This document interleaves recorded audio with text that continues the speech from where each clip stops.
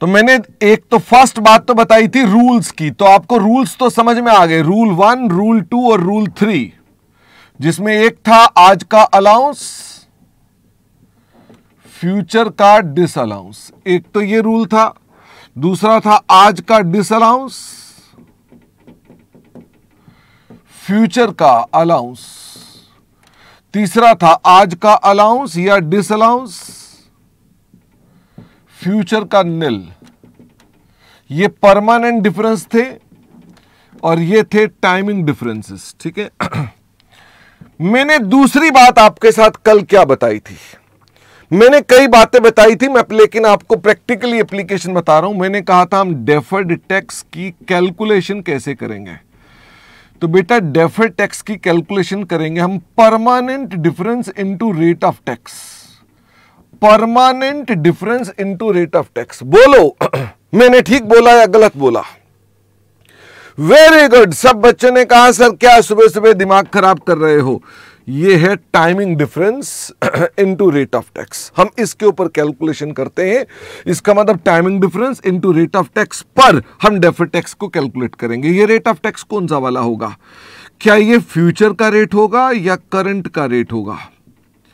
क्या ये फ्यूचर का रेट होगा या करंट का रेट होगा? तो भाई फटा बताओ जरा फटाफट से। तो this will be not future rate this will be the current rate ठीक है? एक बात, हालाँकि वो क्वेरी आई थी, मैंने उस समय इग्नोर कर दी थी, कल नहीं बताई मैंने वो क्वेरी का आंसर क्या मैं रिवाइज करते करते एक क्वेरी ध्यान आ गई है? वो क्वेरी का आंसर दे सकता हूँ? वो परसों पूछी थी आपने। मैं आज उसका जवाब दे रहा हूँ, कल ध्यान नहीं रहा मुझको उस बारे में बात करना। मुझे ये बताओ, यहाँ एक टाइमिंग डिफरेंस है, जिसके अंदर कोई चीज़ डिस अलाउ हो गई है और यहाँ पर फ्यूचर में इधर अलाउ होगी। कई साल बाद अलाउ होगी। मुझे ये बताओ, आज जो दस हज़ार डिस अलाउ हुआ है, जब यहाँ अलाउ होगा तो आपने ये कहा था ना कि इसके ऊपर हमें क्या करना चाहिए? इसका टाइम वैल्यू ऑफ़ मनी लेनी चाहिए। इस पर क्वेश्चन पूछा था कि सर, इसके ऊपर तो टाइम वैल्यू ऑफ़ मनी लेनी चाहिए, जिस पर मैंने क्या जवाब दिया था कि हमारा standard time value of money allow नहीं करता है। इतना कह के मैंने छोड़ दिया था, क्यों time value of money allow नहीं करता है? अगर मैं ये रेट भी फ्यूचर का लेता तो तो टाइम वैल्यू ऑफ़ मनी लगाता ना, क्योंकि मैं फ्यूचर के रेट को प्रेजेंट वैल्यू पर लाता। पर हमने जुगाड़ क्या लगाया कि हमने कहा, छोड़ो, झंझट की बातें। हम फ्यूचर रेट लेंगे ही नहीं। हम इसी पर आज ही क्रिएट कर देंगे आज के रेट से। तो क्या ये जो आज निकलेगी, ये टूडेज फेयर वैल्यू निकलेगी? क्या आज ही की फेयर वैल्यू निकलेगी? क्योंकि आप आज ही उसकी फेयर वैल्यू निकाल रहे हैं। जब आज ही की फेयर वैल्यू निकलेगी तो टाइम वैल्यू ऑफ़ मनी का कॉन्सेप्ट अपने आप खत्म हो गया। समझ में आई बात? उसे क्यों हमारे स्टैंडर्ड ने मना कर रखा है? हालाँकि फॉर द टाइमिंग अगर आप अपने पास एग्ज़ाम की बात करते हैं तो आपने डिस्काउंटिंग नहीं करनी होती है, और हम करंट रेट लेते हैं। इससे आपकी दो क्वेरी खत्म होनी चाहिए। वाई करंट रेट्स बताओ जरा। वाई करंट रेट जब टैक्स एडवांटेज फ्यूचर की है तो वाई करंट रेट जब तुम बोल रहे हो फ्यूचर का डिसअलाउंस है तो फिर करंट रेट क्यों? क्योंकि हम टाइम वैल्यू मनी को इग्नोर करना चाहते हैं और आज की फेयर वैल्यू निकाल रहे हैं, इसलिए आज का रेट ले रहे हैं। Okay okay? इसका मतलब इसकी वजह यह है और टाइम वैल्यू मनी नहीं लिया, इसीलिए तो कॉन्सेप्ट दोनों एक है। हाँ जील कह रहा है today's fair value can differ with the future value Jeel आपने जो बात करी है, बिल्कुल टना टन बिल्कुल करेक्ट करी है, लेकिन मैं आपको जील बताना चाहता हूँ एक बात। हम उस एरिया में जाएँगे नहीं, पर तुमने जिस खिड़की को देखकर कहा है कि, सर, उस गली में क्या है? उस गली के अंदर आगे है। हमें अपने डेफर टैक्स एसेट्स को रिव्यू, रीकैलकुलेट, रीअसेस, रीवैल्यू हर साल करना पड़ता है, जो मैंने आपको नहीं बताया है। इसका मतलब आप जब सीए फाइनल में आएँगे तो जो आप डेफर टैक्स बना देते हैं, आप हर साल उसको रीवैल्यू करते हैं। आप हर साल उसकी वैल्यू में बदलाव करते हैं। बात समझ में आती है? और उसका भी इफ़ेक्ट पीएनएल में डालते हैं। तो चूँकि आप छोटे बच्चे हैं, अभी आपकी दाढ़ी भी ठीक से नहीं आई है बीच बीच में खाली रह जाती है, इसलिए आपको उन्होंने डेफर टैक्स के ऊपर बाकी बातें नहीं बताई हैं। ठीक है ना? तो इसलिए हम ऐसा करेंगे, ठीक है? तो हमने कहा ये डेफर टैक्स है। मुझे मैंने एक और भी बात बताई थी, वो बताई थी मैंने जर्नल एंट्री फटाफट से बताओ। जनरल एंट्री क्या होगी? जल्दी से बताइए। जर्नल एंट्री क्या होगी? एसेट को बनाने। अब मैं ये नहीं कह सकता कि कौन सी एंट्री आपके एग्ज़ाम में आएगी। भाई वो क्यों कौन कौन सी हो सकती हैं? फटाफट से बताओ। या तो क्रिएशन की हो सकती है रिवर्सल की हो सकती है तो चार एंट्रियाँ बनती हैं। एसेट के क्रिएशन की। फटाफट से बताओ क्या बनेंगे एसेट के क्रिएशन की। D T A to P and L reversal की। P and L to D T A D T L की। P and L to D T L D T L to P and L oh my god गाना बन गया ये तो। मुझे ये बताओ, ये सारे के सारे पी एंड एल कहाँ जाते हैं? ये पी एंड एल अकाउंट में जाते हैं। आ, हा हा हा हा। ये पी एंड एल अकाउंट में जाते हैं।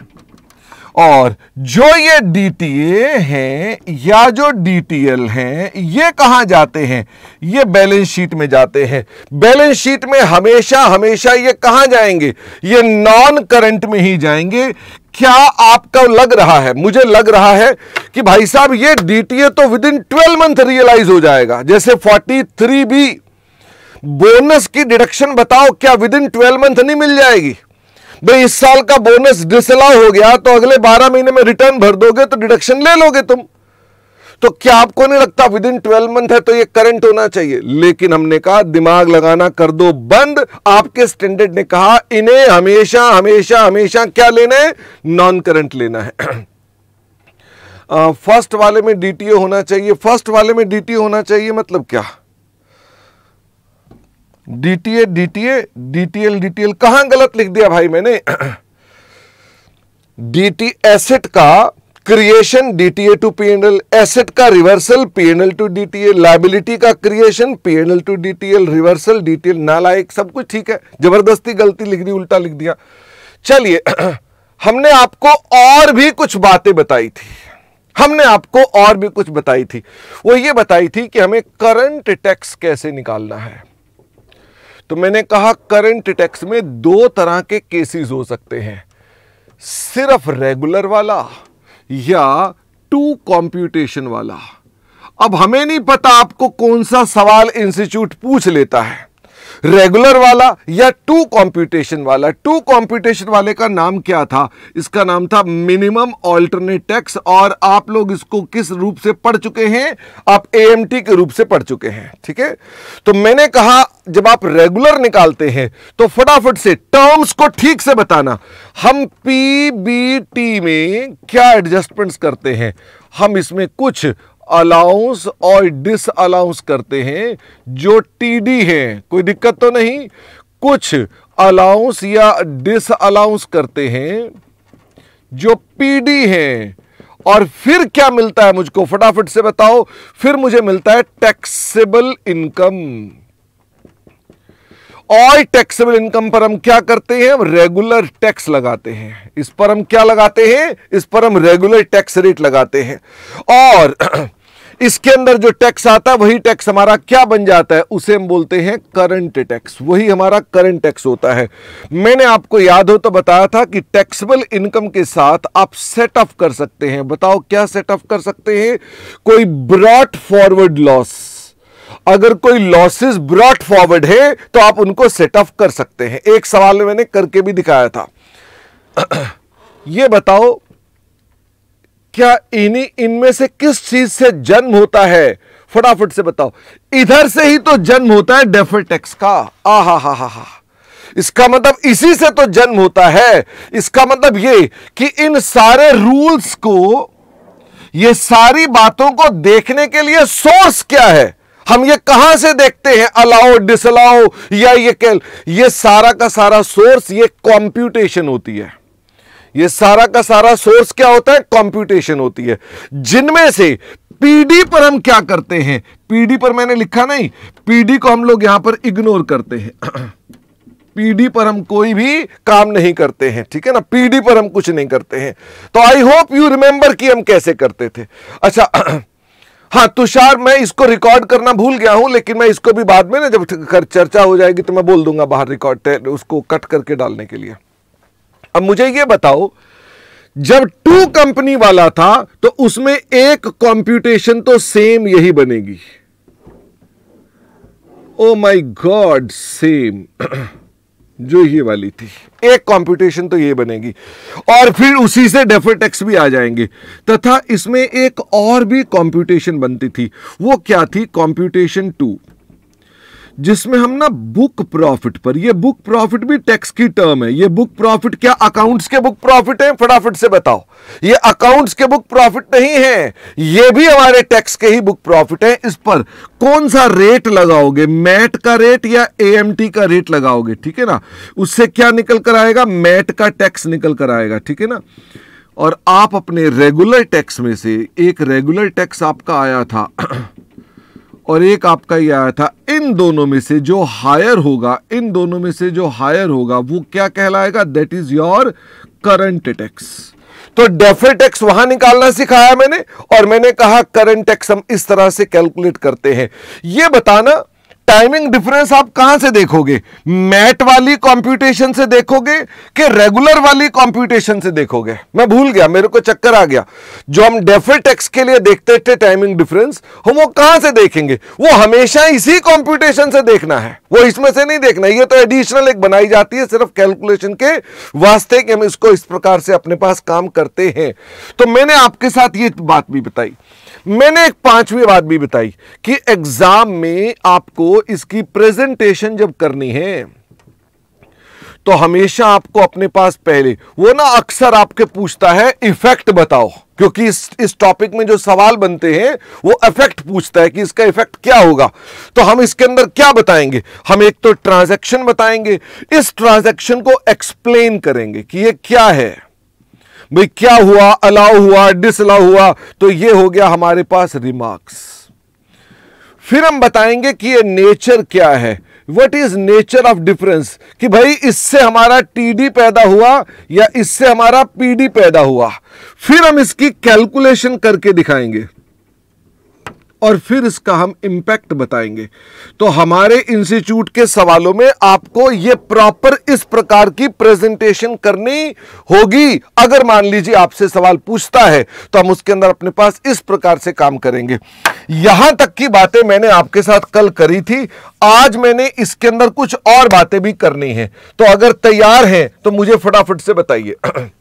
अब गौतम कह रहा है accounting profit and profit as per books में क्या डिफरेंस होता है? गौतम, दोनों सेम ही होते हैं, ठीक है? दोनों सेम है। लेकिन बुक प्रॉफिट का मतलब कुछ और है। Book profit as per tax calculate होता है। आर्यन कहता है मैट और रेगुलर टैक्स का डिफरेंस हम डीटी में क्यों नहीं एडजस्ट करते? आर्यन असल में बुक प्रॉफिट में टाइमिंग डिफरेंसेस नहीं होते, इसलिए हम इसको इसमें एडजस्ट नहीं करते हैं। नंबर दो, एक और बात भी मैं कहना चाहता हूँ, एक और भी इंस्टीट्यूट की बात मुझे आर्यन की बात से ध्यान आ गई। छठा पॉइंट कभी कभी इंस्टीट्यूट पीबीटी दे देता है और टैक्सेबल इनकम दे देता है। और no data for reasons of difference वो ये नहीं बताता कि इन दोनों में डिफरेंस का रीजन क्या है। तो मैंने आपको कहा, ऐसा भी इंस्टीट्यूट करता है तो आपको ऐसे में क्या करना चाहिए? We should assume permanent difference as nil hence all difference किस कारण का होगा? All difference will be timing difference जिस पर आप अल्टीमेटली यही काम करेंगे डेफर टैक्स की कैलकुलेशन करेंगे। इस पर भी आप डेफर टैक्स करेंगे अपने पास, ठीक है? हाँ अनिल, मैं आज रिवाइज करा रहा हूँ ना। अनिल कह रहे दोबारा क्यों बता रहे रिवाइज करा रहे हैं ना? तो शशि, यहाँ तक कि आप अपना वीडियो कट करके एक बार समरी वीडियो मैंने बच्चों को देना था, मैंने आपको रिकॉर्ड करने से पहले भूल गया था तो आप उसको एक बार कट करके डाल देना एलएमएस पर।